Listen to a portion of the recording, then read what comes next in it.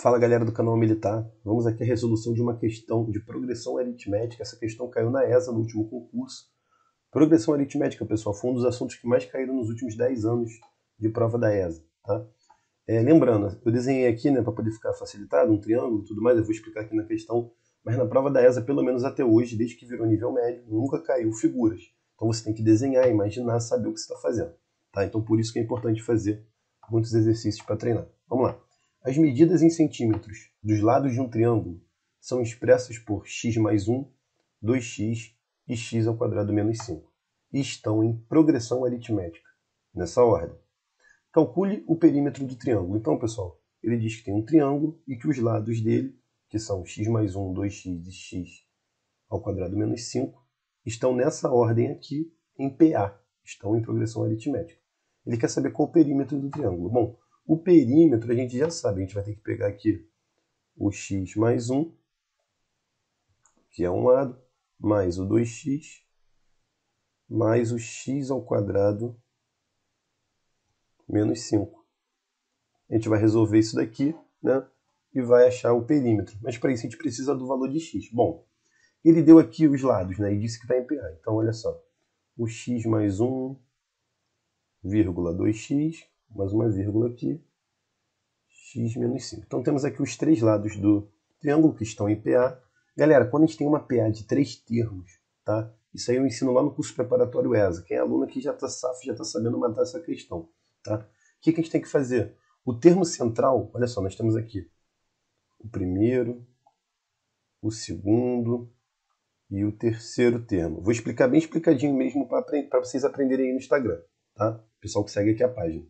Olha aqui, o termo central, do meio, é o 2x. Quando a gente tem três termos, olha o macete, você vai pegar o primeiro termo, vai somar com o terceiro, dividir por 2, ele vai ser igual ao termo central. Caramba, professor, não entendi nada. Olha aqui, ó, tu vai pegar o primeiro, anota isso aí, tu vai pegar sempre o primeiro termo, tá?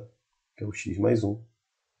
Vai somar mais o, o terceiro termo, que é x ao quadrado, menos 5. Vai dividir por 2, dividir por 2. E isso vai ser igual, tá? Vai ser igual a 2x. Pronto, acabou. Agora a gente vai resolver isso daqui, vai achar o valor de x e matar a questão. Vamos lá. Esse 2 passa para cá multiplicando, tá? Vai ficar x mais 1 mais x ao quadrado menos 5 é igual a 2 vezes 2x, 4x. E esse 4x a gente já passa para cá como menos 4x. Passa para o lado de lá da igualdade muda o sinal. Vai ficar x mais 1 mais x ao quadrado menos 5 menos 4x. Isso tudo é igual a zero. Beleza? Agora vai ficar ó, x ao quadrado, x menos 4x mais x menos 4x dá menos 3x, tá? Mais 1 menos 5, isso aqui dá menos 4. Isso tudo igual a zero. Pronto, caímos numa equação aí do segundo grau. Como é que a gente vai fazer agora? Vamos achar aqui quem são as raízes dessa equação. Tranquilo? Então vamos lá. Ó, lembra lá da formulazinha? Por isso que é importante saber matemática básica, senão todo mundo passa na ESA. b ao quadrado menos 4ac. Lembra? Quem é o b? O b é menos 3, né? Que a gente já sabe. Vou continuar aqui do lado aqui. O b é menos 3, então vai ficar menos 3 ao quadrado, menos 4 vezes a. O a, a gente sabe que é o 1, que está na frente do x ao quadrado ali. E o c é o menos 4. Fechou. Menos 3 ao quadrado é 9. Menos 4 vezes 1, menos 4. Menos 4 vezes menos 4, mais 16. Isso aqui é igual a 25. Então, o nosso delta é igual a 25. Bonito, pessoal. Agora vamos achar as raízes. Lembra lá da fórmula? Lembra? Menos b, mais ou menos, raiz de delta sobre 2a. Galera, tem que saber isso daqui de cabeça. Não adianta, tem que estudar matemática básica pra cacete. Por isso que eu encho o saco. Tem uma playlist de matemática básica gratuita lá no YouTube. Corre lá na playlist de matemática básica, canal militar, e aprende isso daqui, pelo amor de Deus. Vamos lá. Menos b. Menos, quem é o b? O b é menos 3, né? Então vai ficar menos, menos 3 mais ou menos a raiz de delta. Quem é delta? 25. Tá? Dividido por 2A. Quem é o A? 2 vezes A. O A é 1. Né? Então, 2 vezes 1. Acabou a questão. Vamos matar? Vambora. Aqui, ó.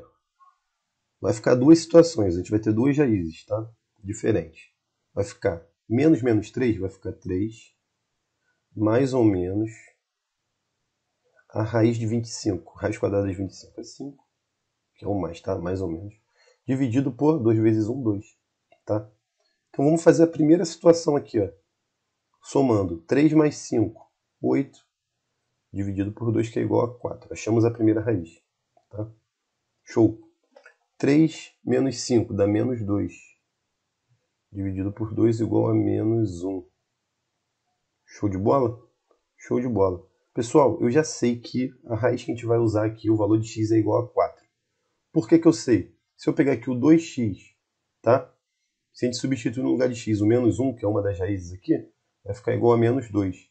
E não existe lado negativo num triângulo, né? Então a gente descarta, tá? A gente vai descartar o menos 1. Então a resposta de x é 4. Acabou a questão? Não. Ele quer saber qual é o perímetro do triângulo. O perímetro é somar os três lados. Eu já somei aqui.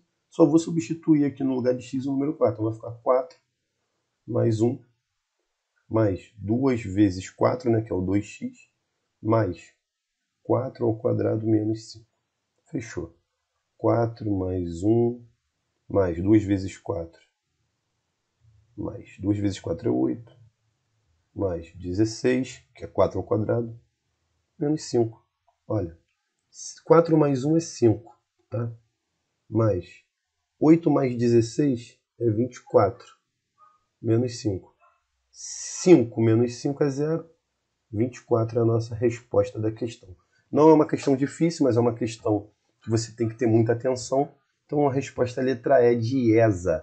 Tá? Se você é aluno do curso, você brincou na questão. Se você não é, faz aí a sua seu cadastro na lista de espera que está aqui no perfil do Instagram. Deixa lá seu cadastro. Próxima turma vai chegar e você vai poder fazer parte. Forte abraço.